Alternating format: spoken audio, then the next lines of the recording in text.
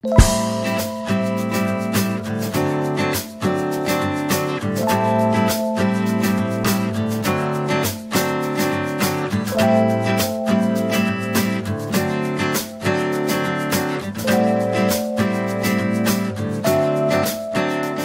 am so happy to see such a high Josh over here, and uh, thank you, thank you for receiving me with uh, so much love and so much affection.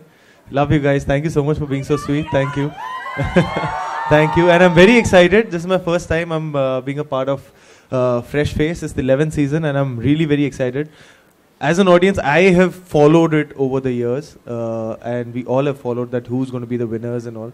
So I am very excited to know who's going to be the winners this year, and it's just an honor for me to uh, kind of announce those winners later on. That's what I've been told.